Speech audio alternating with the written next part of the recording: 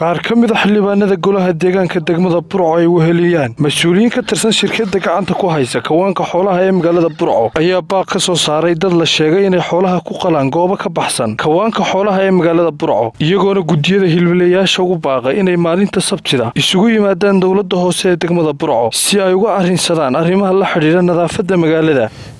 Doonaan baaq uga si wada jira annagoo dowladda hoose ee burco iyo shirkadda dayib ee gacanta ku haysa ama la wareegtay kawaanka xoolaha lagu qolo ee magaalada burco waxaanu halkan doonaa inaanu baaq uga dirno shacbiga gobolka tuuleer gaar ahaan dadka xoolaha ku qala magaalada burco hadday tahay xoolaha adhiga iyo geela iyo nooc walba oo xooluhu yahay. Waxaa jira dad fara badan oo magaalada koono walba kaga qala xoolaha hadday geeltay hadday adhigtaba waxaanu dadkaa doonaa inaan u soo jeedino ugu dambayn bisha sagaalaad tobankeeda wixii ka dambeeya ciddii lagu arko ee magaalada ku qalaysa xoolo inaanu tallaabo sharciga waafaqsan ka qaadno weliba tallaabo adag ka qaadi doono maadaama annagu aanu samaynay juudi ku bixinay oo shirkad aqoonla oo shirkad dayb ay la wareegtay meeshii in ay dadkaasi ku xaroodaan. Dadka xoolaha qala guddiyada inay maalinta sabtida oo bushu ay tahay afar iyo labaatan markay saacaddu tahay tobanka subaxnimo inay yimaadaan xafiiska maayarka waa dhammaan guddiyada. Hadday tahay gudiyada geela tahay iyo tahay arigaba tahay iyo hadday tahay xoolahoo dhan guddiyada halkaa yimaadaan. Halkaa yimaadaan xafiiska maayarka. Maalinta sabtida oo bishu tahay afar iyo labaatan. Mar labaad waxaanu runtii annagu furaynaa heshiiska aan la galnay shirkadda dayiba oo ay la wareegtay kamaanka xoolaha qaybteedii annaga heshiiskaan ku lahayn oo ah inaanu dadka soo xarayno oo aanu wixii runtii nadaafadda ka shaqeyno.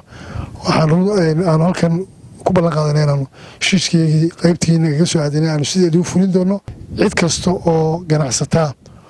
oo doonaysa inay maal gashato magaalada burco oo shirkadaha localka iyo kuwa internationalkaba ee kuwa muwaadiniinta iyo kuwa aan ahaynba inaanu soo dhoweyn doono oo aanu ku soo dhoweyn doono oo wax waxaa u baahan inaanu fudayn doono waxaa la ogeysinayaa maamulada shirkadaha hilibka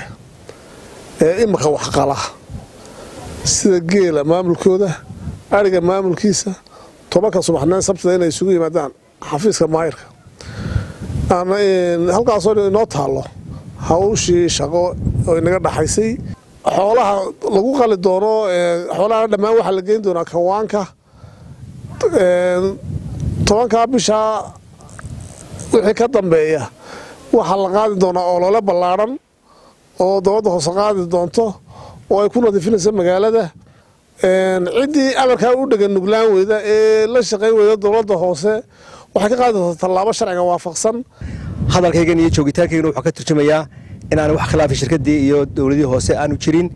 inay dhammaantoodba u saman yihiin in wixii qarankan u dana mujtamaca u dana